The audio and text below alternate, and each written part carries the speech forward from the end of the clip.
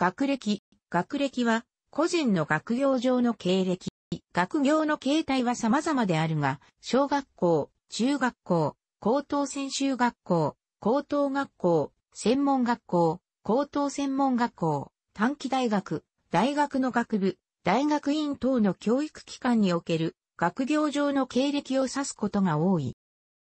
短期大学、大学の学部、大学院の各課程の修了者には学位が授与される。短期大学の卒業者には短期大学士の学位、大学学部の学士課程修了者には学士号が授与される。大学の大学院における修士課程あるいは専門職学位課程修了者には修士号あるいは専門職学位が授与される。博士課程を修了し、論文が認定された者には博士号が授与される。短期大学及び大学学部の学位を初級学位、 first degree、大学院のそれを上級学位、 advanced degree と呼ぶ。学位は世界的通用性を持ち、異なる国の間でも相互に互換性を持つ。2017年の厚生労働省の発表では、学歴別の男女計の平均初任給は、大学院卒が23万3000円、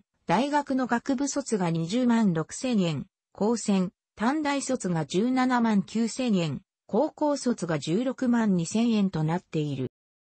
国際標準教育分類 S と2011では、レベル0から8までの9段階の学歴水準を規定している。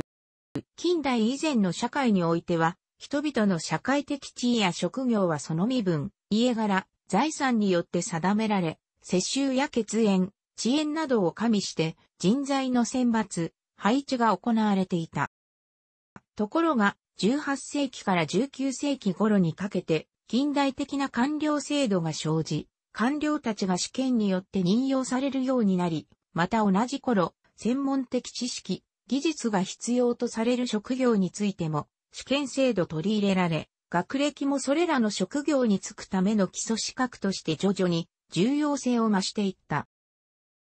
産業革命と市民社会が進展したイギリスにおいて、1853年に東インド会社によってインド高等文館の任用が会社理事による推薦から公開競争試験に移行し、1870年にはイギリス本国高等文館にも同様の試験が導入され、試験による人材の選抜、登用が官僚のみならず、各種専門職などでも行われるようになった。このような人事制度は、人々の能力、業績を公平かつ客観的に測る方法などと謳われつつ導入され、身分制社会から社会を解放して、社会問題を解決する手段として各国に普及した。ノーバート・ウィーナーは、学歴社会を統治者は永久に統治者であり、兵士は永久に兵士であり、労働者は労働者に運命づけられていると定義づけている。先進国においては、社会の高学歴化が起きた、口述が、そうした仕組みの中で、大量の人々に学歴が与えられるようになり、学歴のインフレーションが進んだ。つまり高学歴を持っている人の数が非常に増え、相対的に高学歴者の価値は下がった。例えば、フランスなどもそうである。学歴社会という事象は、歴史の節で説明したように、学歴が特定の職業的地位を獲得するための手段となった時に始まったと見ることができる。学歴社会が生まれた要因としては、体系的な学校制度の進展と近代官僚制の成立により、いわゆるホワイトカラーが誕生したことが挙げられる。学校教育制度について言えば、上級学校への進学者に対して一定の学歴を求める傾向が強くなったことと、多くの人々に学歴が付与されるようになった。企業組織の官僚性化ということに関して言えば、20世紀には大企業が多数出現した。これら大企業では、ホワイトカラーの従業員の供給源を学校卒業者に依存する傾向を強めた。各して18から19世紀に官僚になったり、専門的職業に就く時だけ必要とされた学歴が、次第に様々な組織での任用の基礎的な資格として用いられるような状況になり、学閥を形成したのである。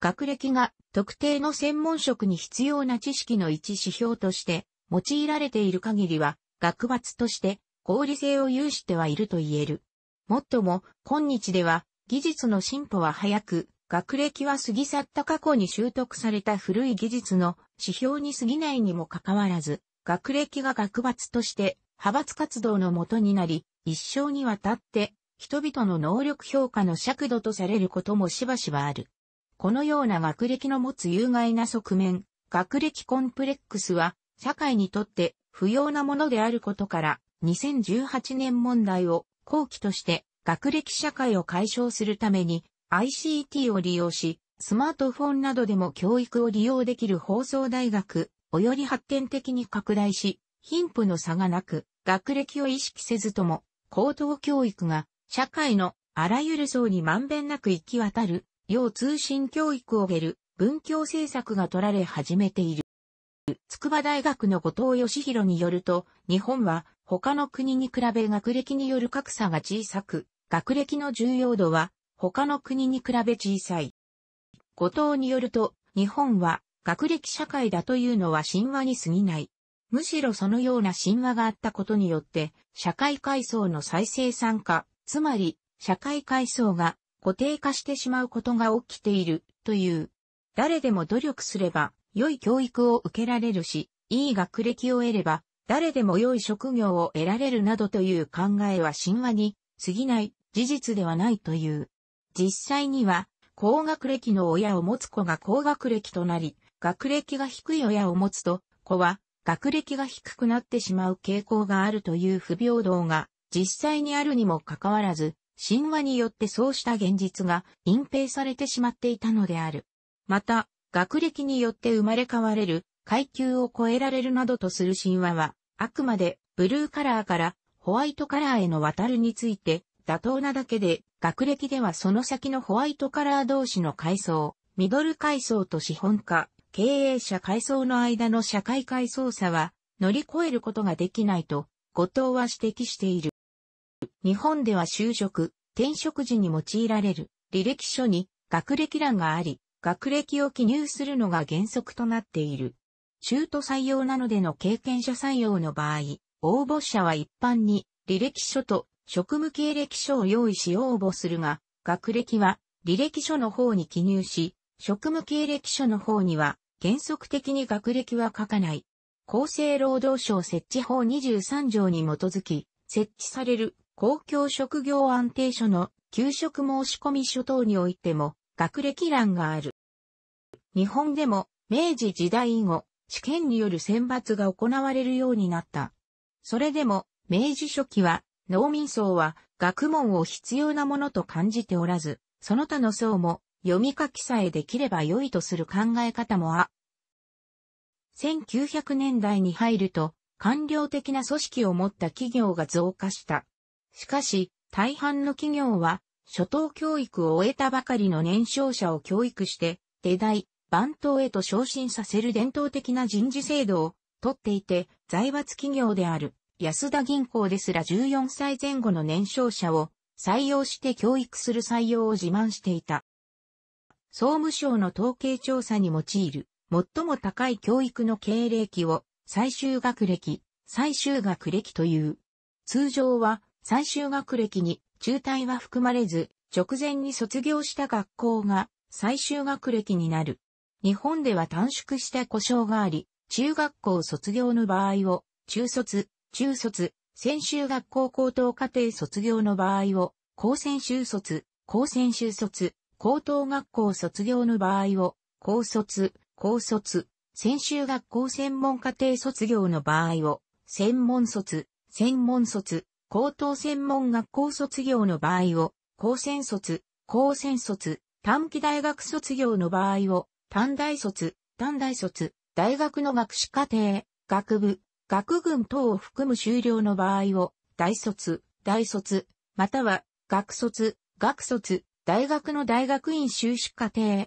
または、専門職学位課程修了の場合を、院卒、院卒模試は、院寮、院寮、中途退学を中退と略して呼ぶ。大学院の博士課程の場合、在学中に博士号が取得できれば終了となるが、学位取得がなく、研究指導や講義科目の単位習得のみで、在学期間が終わる場合は、退学、通称、満期退学になる。韓国には4年生大学が200校以上設置されており、大学進学率は80%を超え世界最高水準にある。しかし、大学のワールドベスト200に選出された大学は3校で、あり国際競争力の点で課題が指されている。楽しくご覧になりましたら、購読と良いです。クリックしてください。